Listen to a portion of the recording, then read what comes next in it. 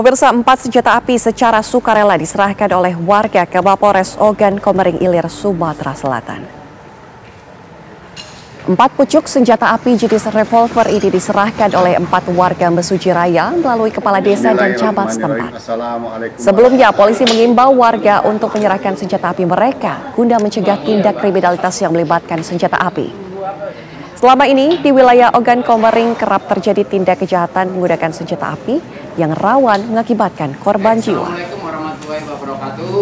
Saja yang bisa saya sampaikan sekali lagi Pak, nanti administrasi penyerahan ini akan kami Bapak Kapolsek sama Raya Alhamdulillah termasuk jadi itulah uh, terima kasih Pak Kapolres harapan kami